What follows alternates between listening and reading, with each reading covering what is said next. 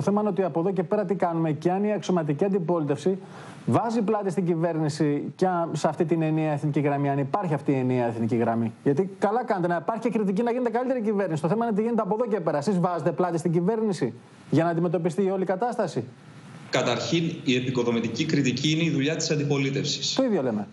δεύτερον, ο, δεν πιστεύω ότι υπάρχει ούτε ένας Έλληνας πολίτης αυτή τη στιγμή που να πιστεύει ότι ο ΣΥΡΙΖΑ Προοδευτική Συμμαχία δεν κάνει υπεύθυνη αντιπολίτευση όσον αφορά τα εθνικά ζητήματα.